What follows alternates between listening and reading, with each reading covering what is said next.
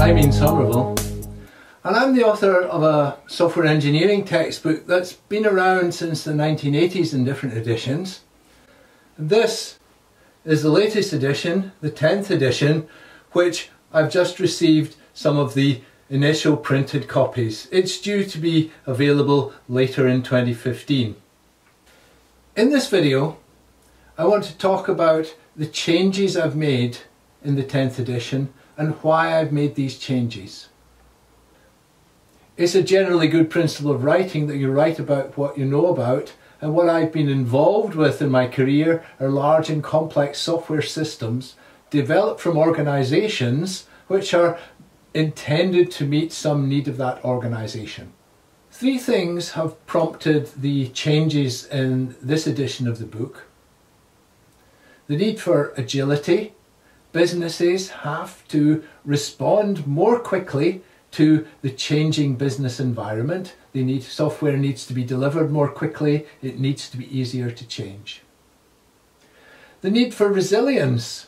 The internet has given rise to a whole new series of threats to our software systems, which, in conjunction with the ubiquity of these systems, where they're embedded in all aspects of everyday life, means that we need to build systems that can continue to deliver essential services even when they're under external attack. And complexity. The size of systems has been getting larger and larger and Along with that, so has their complexity. I believe we are reaching the limits of complexity that current software engineering techniques can handle. I talk about that in this book and I talk about how we can build these complex systems by integrating systems of systems. I've retained the four-part structure which I had in previous versions of the book where the first part is an introduction to the topic the second looks at security and dependability. The third at a number of advanced topics of software engineering.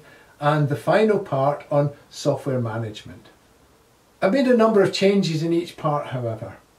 In the first part, the theme is agility.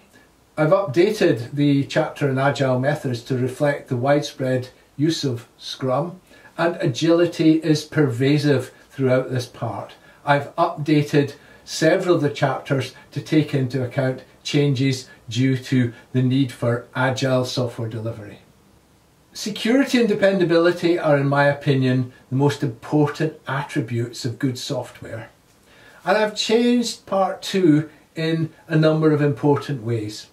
First of all, I've moved away from the, the topic-based organisation where I talked about specification, implementation and testing and change that to a theme-based organisation. So I have a, a reliability theme, a safety theme, a security theme, and a new chapter on resilience engineering. This provides the ability to select issues such as security and resilience without necessarily covering all aspects of dependability. And of course, I have a, a dependability introduction that pulls these chapters together. In chapter 3, Advanced Software Engineering, I've introduced two new chapters, one on systems engineering and one on systems of systems. These are driven by complexity.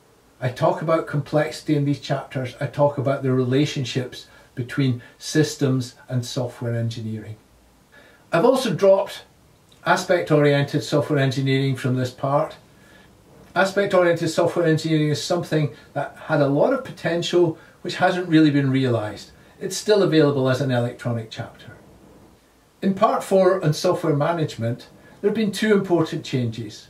I've updated the chapter on configuration management to reflect the widespread use of Git and GitHub as distributed configuration management systems and I contrast these with repository-based systems such as Subversion.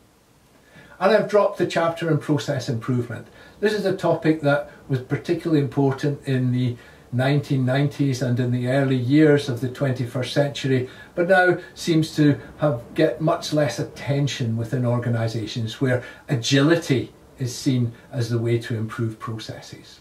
And you're watching one of the most important changes in the 10th edition. As well as the textual material in the book, I've published more than 40 videos which are available freely on YouTube which back up that material and which I talk about various topics which are covered in different chapters of the book. I've also looked at YouTube and selected videos from there that can be used to supplement chapters in the book. There's lots and lots of other videos in, on YouTube. I certainly haven't looked at them all, but I've chosen ones that I think are particularly appropriate. So, my new software engineering book will be available in eh, late spring, early summer 2015. I hope you find it useful.